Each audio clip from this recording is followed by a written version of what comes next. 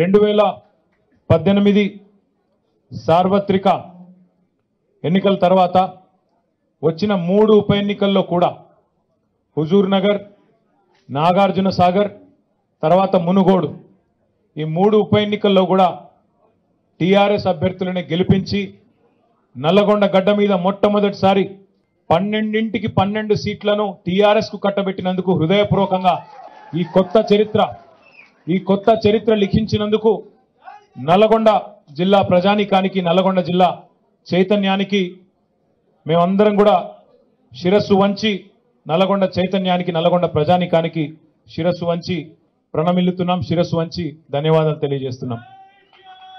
ఎన్నికల్లో ఈ ఎన్నికల్లో పెద్దలు ఎప్పుడో చెప్పారు రాజకీయాల్లో హత్యలుండవు ఆత్మహత్యలు మాత్రమే ఉంటాయని చెప్తారు. ఈ ఎన్నికల్లో జరిగింది అదే.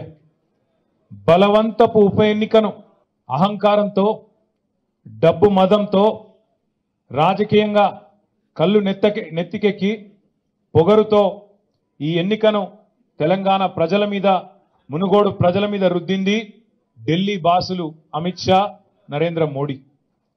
వాళ్ళిద్దరి అహంకారానికి చెంపపెట్టు లాంటి తీర్పునిచ్చిన మునుగోడు చైతన్యానికి మళ్ళీ ఒకసారి ధన్యవాదాలు తెలియజేస్తూ మునుగోడు ప్రజల ఆత్మగౌరవం మాత్రమే కాదు తెలంగాణ ఆత్మగౌరవ బావుటాను ఎగరవేసినందుకు మేమందరం కూడా సంతోషపడతా ఉన్నాం. ఈ రుద్దిన ఎన్నికను ఆ రుద్దిన వాళ్ళకే మీరు గుద్దిన గుద్దుడుతో చక్కెర వచ్చిందనే మాట కూడా ఈ సందర్భంగా నేను విజ్ఞప్తి చేస్తా ఉన్నా. ఎన్నికల్లో ఇక్కడ ఉన్నది ఇక్కడ కనబడ్డ ముఖం భారతీయ జనతా పార్టీ నుంచి రాజగోపాల్ రెడ్డి కావచ్చు. కానీ దాని వెనుక ఉండి ఆడిచ్చింది కీలుబొమ్మలాట ఆడిచ్చింది వెనక ఉండి నడిపిన నాటకం అంతా నడిపింది అమిత్ షా నరేంద్ర మోడీ అనే విషయం తెలంగాణ ప్రజలకు సుస్పష్టంగా తెలుసు. ఒకటి రెండు కాదు.